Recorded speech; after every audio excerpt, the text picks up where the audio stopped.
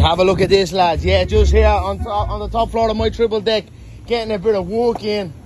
And look who I see over here. That's Lorenzo Fertitta's yacht, Lonian.